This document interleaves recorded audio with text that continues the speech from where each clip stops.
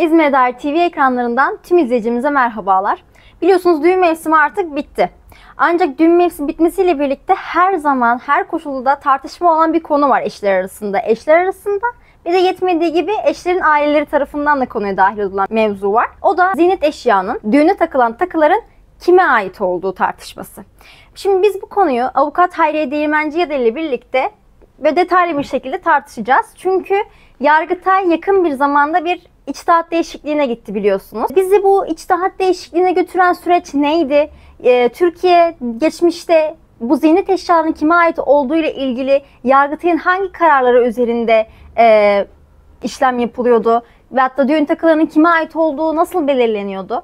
Ee, içtihat değişikliğine gidilen e, Yargıtay kararı nedir? Bunlarla ilgili Hayriye Hanım sizden bir bilgi almak isteriz. Teşekkür ediyorum sağ olun. Yargıtay kararlarında ve mevcut mahkeme kararlarında düğün takıları kim tarafından takılırsa takılsın, hangi taraf tarafından takılırsa takılsın fark etmeden kadına aittir şeklinde kararlar söz konusuydu. netti. Bu çok netti. Yüzlerce bu konuda gerçekten yaygın kararlar söz konusu. Tabii Yargıtay veya mahkeme kararlarında taraflar arasında bir anlaşma olup olmadığı, anlaşma yoksa örf ve adetin ne olduğu da mahkeme tarafından araştırılmak suretiyle düğün takılarının ya da paraların ekonomik değeri olan altın olur, pırlanta olur, gümüş olur, mal varlıklarının daima kadına ait olduğu konusunda değerlendirme söz konusu oldu. Bu konuda tabii ki kamera kayıtları incelenmekte mahkemeler tarafından. Bilirkişiye mutlaka da olsa sevk edilmekte. Tanık beyanları çok çok, Çok önemli. önemli. Düğün sırasında çekilen fotoğraflar, kamera kayıtları, video kayıtları daima mahkemeye delil olarak sunulmakta. Boşanma davasıyla veya boşanmadan ayrı bir dava şeklinde ziynet eşyaları veya düğünde takılan paralar celp edilmekte ve talep edilmekteydi. Fakat hal böyle olmasına rağmen Türk yargı sistemini çok etkileyen, çığır açan bir karar tesis edildi. Yargıtay 2. Hukuk Dairesi tarafından 4 Nisan 2024 tarihinde Yargıtay 2. Hukuk Dairesi gerçekten esaslı bir kararı imza attı. Bu evet. esaslı karar şu şekildedir. Düğün takıları eski sistemden artık vazgeçilerek öncelikle taraflar arasında bir anlaşma olup olmadığı değerlendirmesine bakılacak. Anlaşma yoksa örf ve adete bakılacak. Örf ve adet de yoksa eğer kadına takılanlar kadına aittir. Erkeğe takılanlar erkeğe aittir şeklinde bir düzenleme oldu.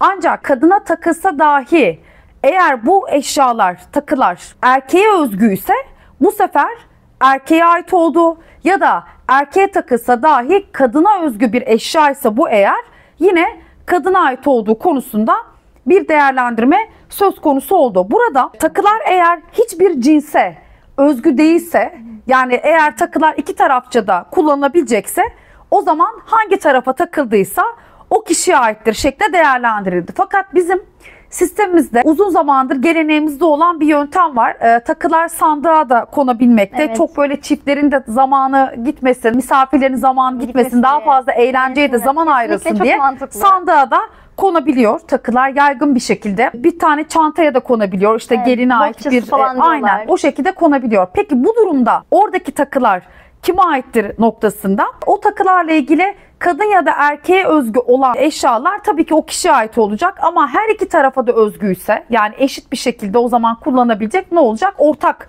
paylaşım yapılması ile ilgili Yargıtay'ın bir değerlendirmesi söz konusu oldu.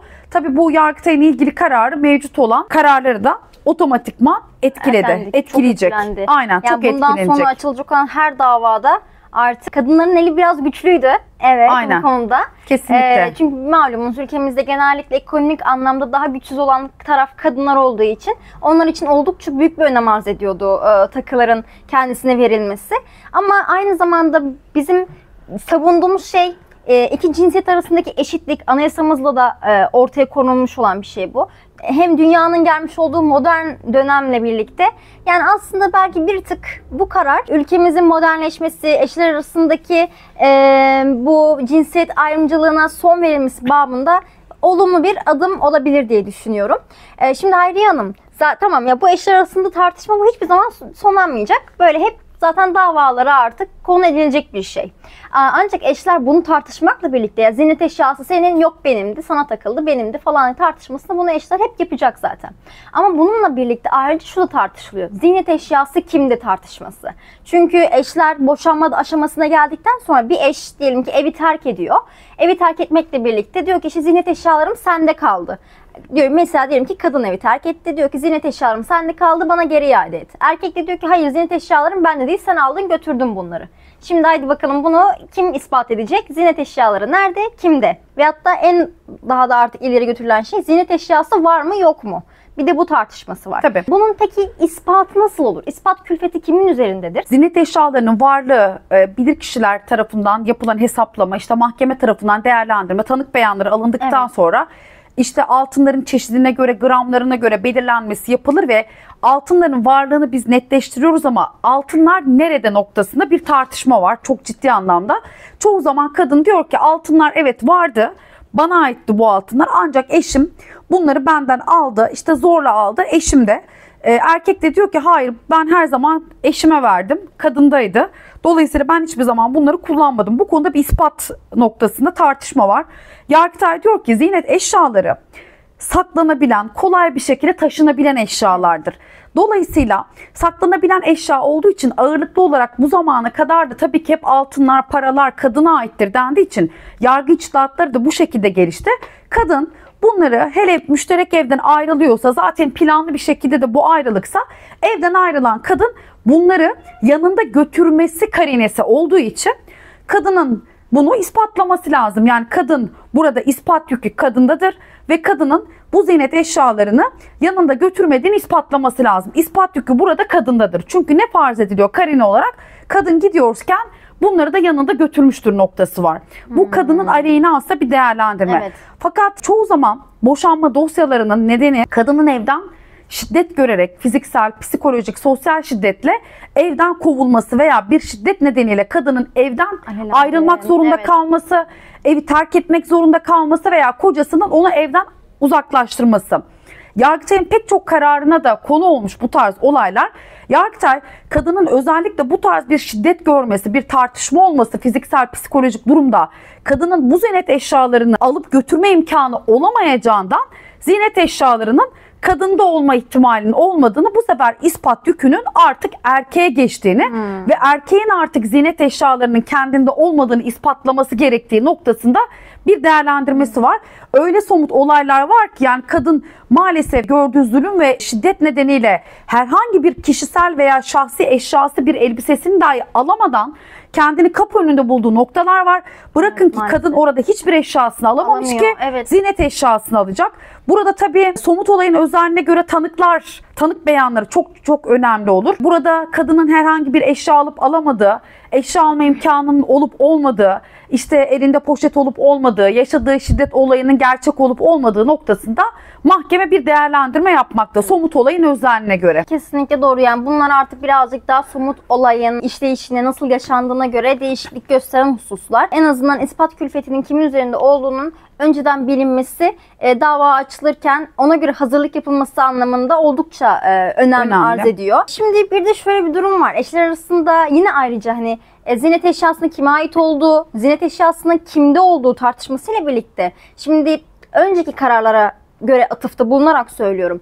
Önceden Yargıtay ziynet eşyasını takı, kime takılırsa takılsın kadına ait olduğunu söylüyordu. Ancak evlilik birliğinde özellikle hani genellikle erkek eş iş kurmak için, araç almak için veyahut da evin herhangi bir ihtiyacını gidermek için kadına ait olan bu ziynet eşyalarını alıp kullanabiliyordu. Sonrasında boşanma davası, arkasından ziynet alacağı davasında ise kadın eş diyor ki sen benim ziynet eşyalarımı aldın, araba aldın, ev aldın, e, ne bileyim iş kurdun ancak bana bu alacaklarımı geri ödemedin diyerek talep ediyor iş, ziynet alacaklarını. Peki e, şimdi Yargıtay kararlarıyla bu durum artık birazcık değişiklik gösterecektir elbette ama eski Yargıtay kararlarına bakarak söylemek istiyorum. Erkeğin ziynet eşyalarını iadesi nasıl olur? Ziynet eşyalarının varlığı konusunda taraflar işte kabul edebiliyor veya tanık beyanlarıyla netleştiyse durum. Fakat ziynet eşyalarıyla ilgili erkeğin şöyle bir savunması olabiliyor. Evet ziynet eşyaları vardı. Gerçekten de bunlar bunlar takıldı düğünde. Fakat bu ziynet eşyalarını biz düğün borçlarına harcadık. İşte mobilya masraflarına harcadık. veya benim işlerim kötü gitti. Ben işlerime harcadım, borçlarım vardı yahut yeni bir iş yeri açtım kendine diyor erkek ya da işte kendime yeni bir araba aldım şeklinde. Şimdi Yargıtay burada diyor ki şu ana kadar tabii sistem böyleydi, içtihat değişti. değişti. Kadına ait şeklinde değerlendirme yapıldığı için kadına ait olan ziynet eşyaları anlamında erkeğin bunları ne yaparsa yapsın kadına iadesi gerekir. Ancak erkek şu şekilde iade borcundan kurtulur. Kadının bu ziynet eşyalarını kendisine verme eylemiyle ilgili kadının bunu kendisine bağışladığı, iade niyetinde olmadığı ve iade edilmemek üzere tek taraflı olarak verdiğini, geri almamak üzere verdiğini erkek işte aralarındaki mesajlar olur, mailler, WhatsApp mesajları olur, e, tanık beyanları olur. Bir şekilde ispat etmesi halinde iade borcundan kurtulur. Onun dışında erkeğin borçlara, düğün borcuna veya başka bir şeye ödemiş olması bu takıları kendisini iade borcundan kurtarmaz ve eşine bu takılarla ilgili veya paralarla ilgili iadeyi gerçekleştirmek zorunda kalır. Umuyoruz ki Hayriye Hanım'ın e, yorumları ve hukuki değerlendirmeleri dava açma gibi bir niyetiniz varsa size yol gösterir. Veyahut da e, hukuki olarak da bilgilenmenize vesile olmuştur. Hepinize teşekkürler. Beğenmeyi ve abone olmayı unutmayın.